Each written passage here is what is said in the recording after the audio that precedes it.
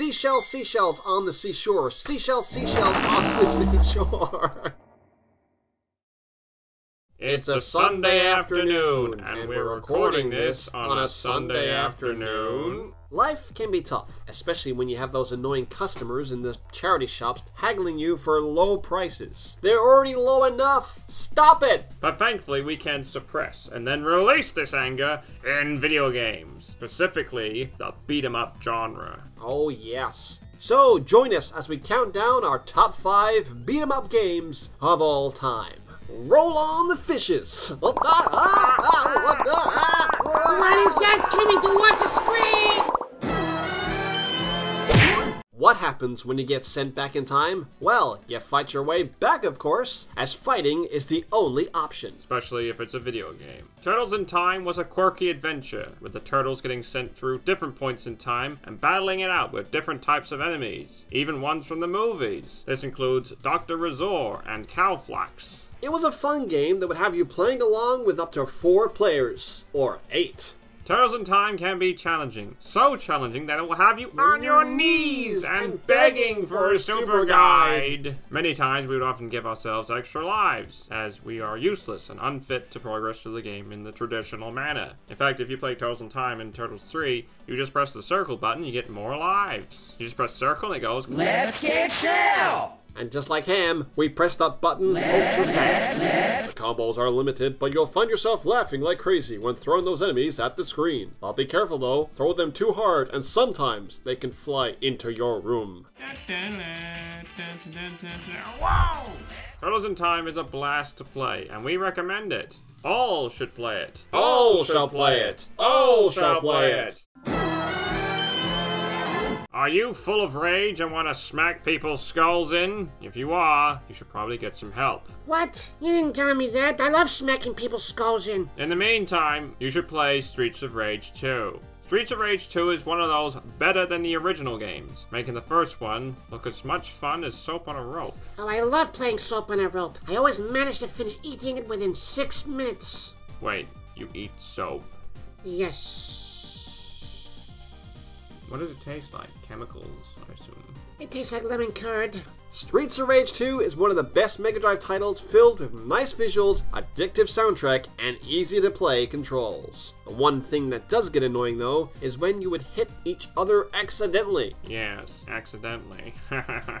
Just like the Turtles, you had a limited moveset, but it makes up for it in items you can use, like baseball bats and poles, or Chicken. There's no chicken you can pick up in the game. it was also quite lengthy for a beat 'em up, maybe that's because it was difficult. But with a buddy by your side, you could zoom through it like a Jedi.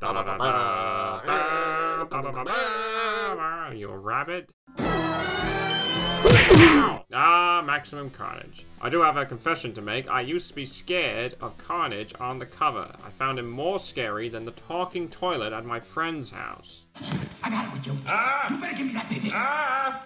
Give it to me. If you ah. me, I'm gonna bite off your pussy. You knew the game was gonna be epic, because not only did you have Spider-Man team up with the Venom, the Venom, The Venom. the Venom, he's so powerful, the Venom, but the opening title screen music was a banger! Yeah! Until Spider-Man PS4 arrived, Maximum Carnage was probably the best Spider-Man game you could find. While he's had many titles on all systems like the gorgeous PlayStation, oh yeah, Alright, calm down. but none captured the aesthetics of the comics like this. Like it had comic book cutscenes that told the story. Just just look at it. Look at it, Dexter. Look at it. Look at it. I mean, personally, I, I know you say this is the best Spider-Man game, but truth is, I think that the other Mega Drive Spider-Man game in- Versus, the, Kingpin? No. Yeah, but you, you have to take photographs for the Daily Bugle. You get to But web none swing. captured the aesthetics of the comic books Yeah, I know, but other than but this. not that made you feel more like Spider-Man. no, this felt like more like the comic books. Okay, well, let's just agree to disagree. And then let's take it outside again. The gameplay itself was like John Goodman.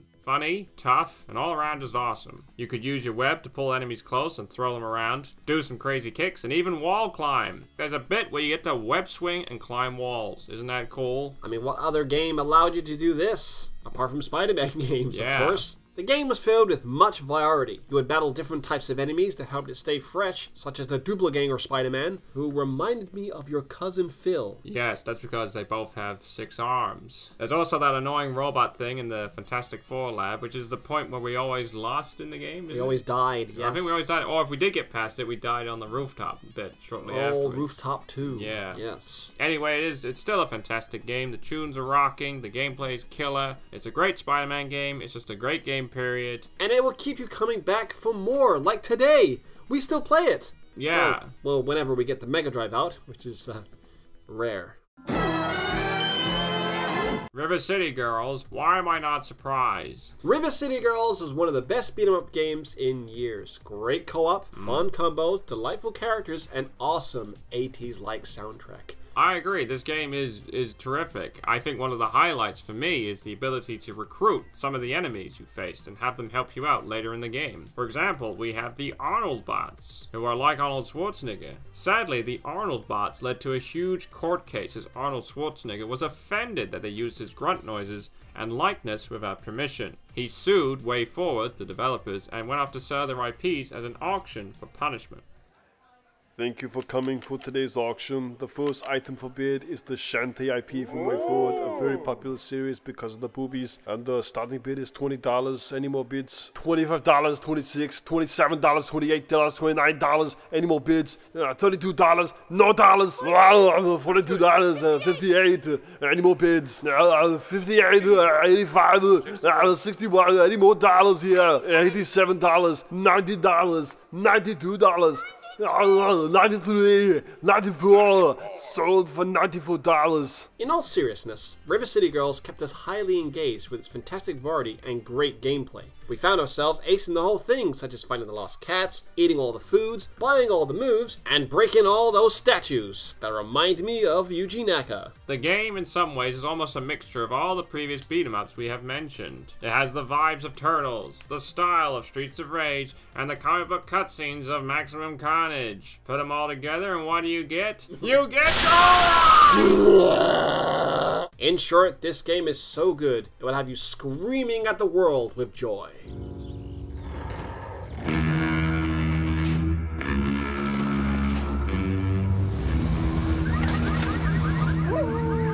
Not the Castle Crashers. Castle Crashers is one of those games that comes crashing through your wall to get your attention. Like a cow being flipped upside down. Mm. Castle Crashers contain tons of wacky action, quirky items, and funny situations that threw you off guard. You never knew what was gonna happen next. Remember that time you get the princess and one of them ended up being a clown? Oh yeah, you had to stop playing after that, remember? Yes. It had a nice assortment of combos and lots of interesting unlockable characters like Bear Grylls and Keanu Reeves. The game had an amazing four player co op, interesting flash art style, and tons of collectibles to keep you busy to the next pandemic. Its soundtrack was also quite inspiring, causing you to run to a gym and Exercise. I love to sing this music quite often, especially in my sleep. Just stop it. And there you have it, our top 5 picks. Hope you enjoyed it and look forward to our next video as we Wait! You forgot to include Scott Pilgrim versus the World. I shall add it. Here we go. Scott Pilgrim is the best beat 'em up ever made, hands down. It was the first game to create the beat 'em up genre too. What? No, that's lies. Stop it. Look, you can't just overturn our number one pick, okay? You're ruining the video. Yes, I can. No, you Watch can't. me do it. I've already I'm in started. charge here. I've already started. I'm in charge So here. anyway, the game had okay, everything it's not from- a Trivio it script. had You can't from just do Grand- this. Stop it. Yeah. Thanks, Honest Review. Put him in the closet. No, no, quick, end the video before you. ah, I bit my finger! Okay, I'm gonna stop the video. It's Thanks for watching. Work. We'll see you next week. Hopefully, God's in the complete history. Work.